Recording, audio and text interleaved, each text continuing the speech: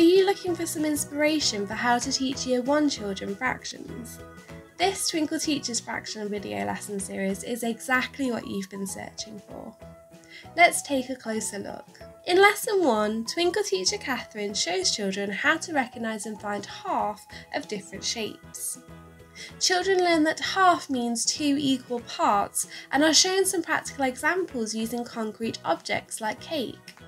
Lesson 2 follows a similar structure whilst introducing children to finding a quarter of a shape by splitting them into four equal parts. Lesson 3 increases the challenge by teaching children how to find half of a number or amount. Catherine supports learners by encouraging the use of physical objects and visually explains the concept of finding half of amounts. And in lesson 4, children use the teddy bear's picnic and a fraction mat to find a quarter of an amount of each picnic food.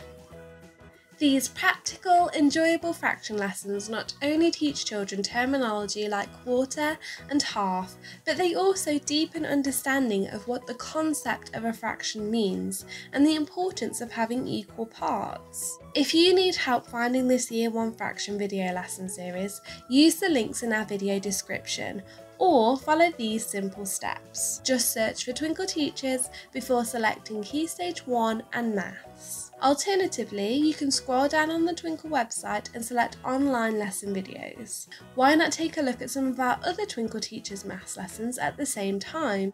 See you next time!